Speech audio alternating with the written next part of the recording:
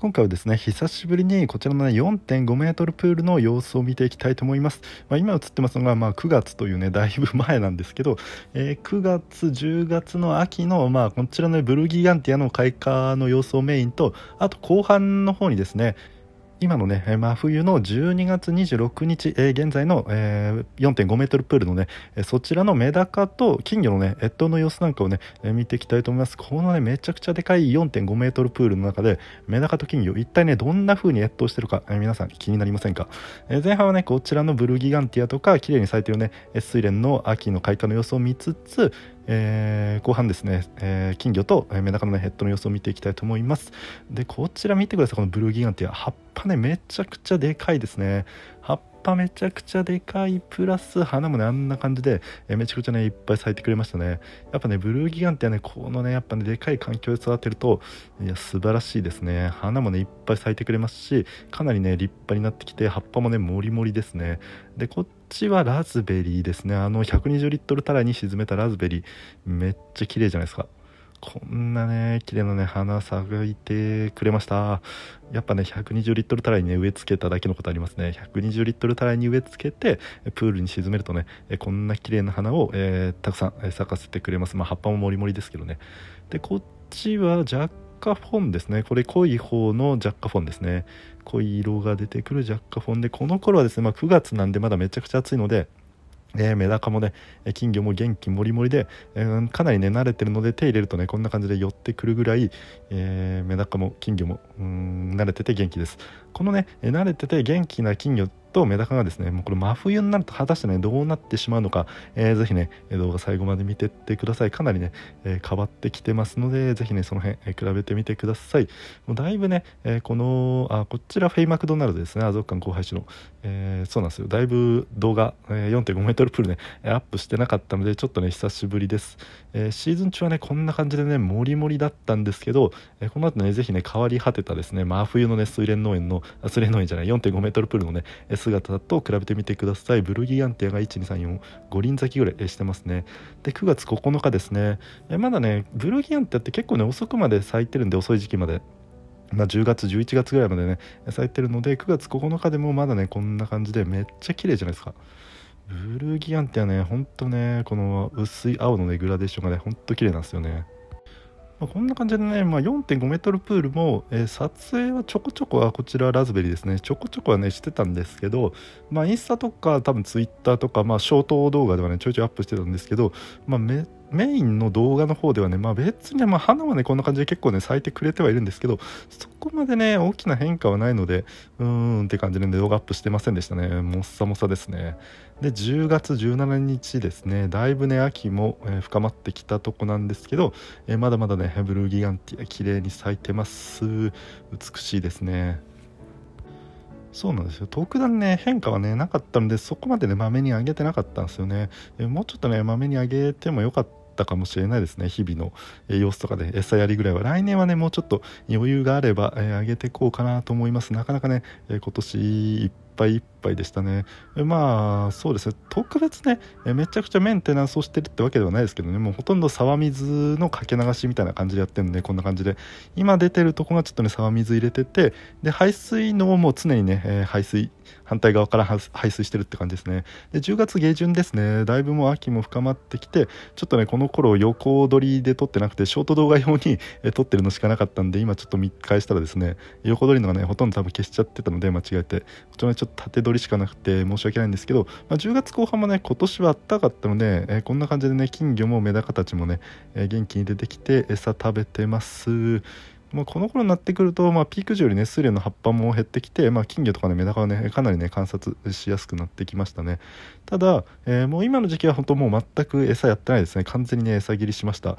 ここのね方は、えっと、水蓮農園に比べるとちょっとね日当たりが悪いので水蓮農園よりねかなり早く11月末に最後ちょっと上げて餌切りしたかなっていう感じですね。まあ、こんな感じで10月下旬になってくると、まあ、こっちの手前の方はね、え、だいぶ葉っぱが少なくなってきました。この後にもうちょっと縦の動画が出てきます。11月1日ですね。11月1日もまだこんな感じで元気で咲くってるんですけどだいぶ大きくなったの分かりますかね金魚ちゃんたち。いやめちゃくちゃ可愛いですよね。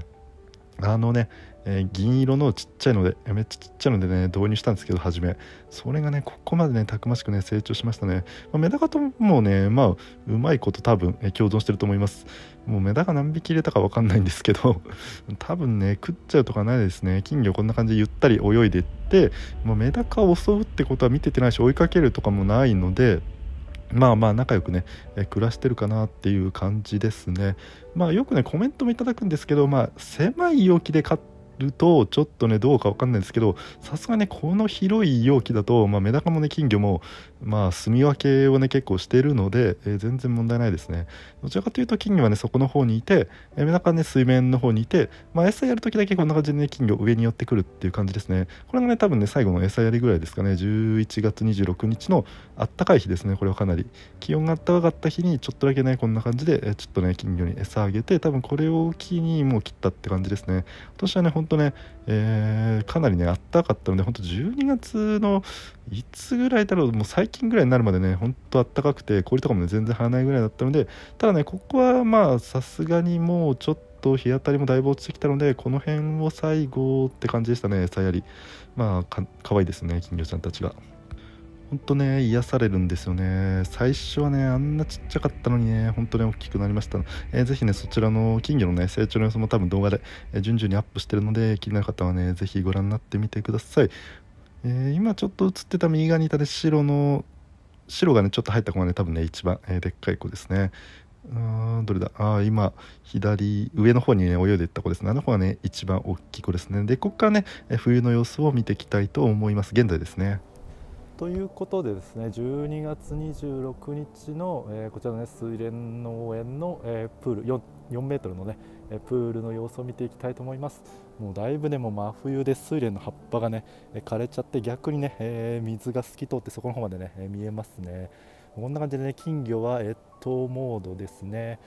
まあメダカもそうなんですけどやっぱりですねこの時期になってくるともう水面ね泳いでないですね全然。えー、まあ、シーズン中はメダカもね水面にほとんどいることが多かったんですけどこの時期になってくるともうほとんど、えー、底の方ですね。メダカもね、えー、ちゃんとこんな感じで底の方にいるの分かりますかね。こうやってみるとねよく生態が観察できますよね。やっぱり、ね、大きい、まあ、ちっちゃい沖でもそうなんですけどねやっぱり、え底の方に、えいます。でテトラさんのねソーラーブリードモップ日当たってるんでねめっちゃ、えエアがね出てますね。まあ、こんな感じで、まあ、エアーは常に、まあ、容量が、ね、大きいんで、えー、出しっぱに出しっぱなしに、ね、してますね、冬も。まあ、ちっちゃい容器だとね水がこう混ざっちゃうのであんまやんない方がいいかもしれないですけど、まあ、この容量だとね水温変化もそんな、えー、ないしもうこ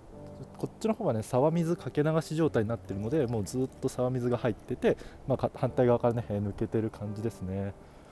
でこういうねやっぱね、えー、物の影ですね。ここでね金魚たちが越冬してますね。全然動かないです。たらいの片隅。アンドこの睡蓮のまだ葉っぱがちょっと残ってるとこでこんな感じで金魚たちも越冬してます。全然動きません。メダカたちもね越冬してるんですけどあここに、うん、これは睡蓮の葉っぱがこれ睡蓮の葉っぱもすればねほとんど枯れちゃってますね。水草もまあ、枯れてますね。エキノドルスとかもう葉っぱパリッパリですね。あとはメダカあここも金魚が越冬してますね。そこの方で。越冬してます。メダカたちはそこの真ん中ぐらいで越冬してますかね。プールのね真ん中ぐらいで越冬してます。こんな感じで。越冬してるの分かりますかね。真ん中の底の方ですね。どっちかっていうと。まあ、水はね透き通って綺麗なんですけどそこの方はねやっぱヘドロが溜まってるんでねまた春になったらホウメダカいっぱいいますね。ねめっちゃ越冬してますそこの方で。見えますかね。こんな感じで群れをなして越冬してますね。まあ自然界とかそうですよね。結構群れをなして越冬してる感じでねなんか自然に近い感じの、えメダカが見れますね。まあ改良品種なんですけどね思いっきり。えー、こんな感じでね、えー、冬場の4.5メートルプールの様子です。水草は枯れてて、メダカたちも金魚たちもね、越冬してるって感じですね。金魚はどっちかというと物陰で越冬してる感じなんですけどね、メダカはそんなに物陰ってほどでもないですね。まあ、これ撮影してるのが午後1時前ぐらいなんで、まあ、結構ねあったかい時間帯なんですけどこっちはねスレン農園と比べるとね日当たりが悪いので、え、やっぱね水温も上がってないのと、まあ、沢水をね直接、えー、かけ流しにしてるんでちょっとね、えー、冷たいかもしれないですね、まあ、冷た沢水そんなね激冷たいってわけじゃないので結構ね水温はね安定してると思います。あでも冷たいな。冷たいっちゃ冷たいです。でも氷はねやっぱかけ流ししてるんでほぼね凍らないっていう感じですね。で金魚も一部ね、えー、導入した子でなんか、まあ、ちっちゃいので、ね、導入したんで浮き袋にねちょっと異常っていうか、まあ、転覆っていうかなんだ逆立ち泳ぎみたいになっちゃってる子がいるんですよね一部。こんな感じで。うーんまあ元からのね多分浮き袋の異常だとは思うんですけど何匹かねそういう子がいるぐらいであとはまあ、えー、元気に、えー、無事越冬してます。まあそんな感じですね。まあ、こんな感じでね睡蓮がちょっと、ね、ひっくり返ってこれね浮いてきちゃってるんですよね。とあとこれね睡蓮、えー、すごくないですか？もう飛び出しちゃってますねプランター。倒れて飛び出しちゃってこの辺はね、え、またね春に植え替えたいと思います。あそこら辺もね伸び伸びしてますね。まあこんな感じで、えー、今年の更新はもしかしたらこれ YouTube、えー、最後になるかもしれないです。もしかしたらもう1本ぐらい上げるかもしれないです。ちょっとねまだ分かんないですが、え、現状ね、えこんな感じです。冬の4.5メートルプールですね。これサムネにしようかな。本日も動画最後までご視聴いただき誠にありがとうございます。本当皆さんいつもコメントやグッドボタンありがとうございます。えー、今年もね、水蓮水生植物、えー、購入してくださった方もありがとうございます。えー、本年度はね、もう販売終了してしまったんですけど、えまたね、来年、え水蓮水生植物、えたくさん販売していきたいと思いますので、ぜひね、え来年も皆さん、え水蓮水生植物、え購入してみてください。ヤフオクでね、販売しますし、来年は直接、えメールアドレス設定して、そこからまあ5000円以上ぐらいでしたら、購入えー、5000円以上購入する方とかでしたら直接ね購入もできるように設定したいと思いますし、数連農園もですねシーズン中からね、現地販売、見学、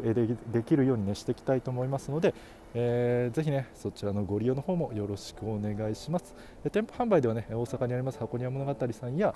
静岡県のね赤玉ちゃんのお店で、自分のところね発水連水生植物、絶賛販売中です、ぜひねお近くの方は足を運んでみてください。概要欄に住所とねリンク貼っておきます。でサブチャンネルの方ではね観葉植物チャンネルもやってます、えー、冬入りのねモンステラの成長の様子や冬入りモンステラのねえー、販売、えー、なんかもね来年もやっていきたいと思いますので、ぜひねサブチャンネルの方のチャンネル登録の方もよろしくお願いします。サブチャンネルは多分ね年末に1本また動画アップすると思いますので、ぜひねそちらもよろしくお願いします。んではまた越冬中の金魚です。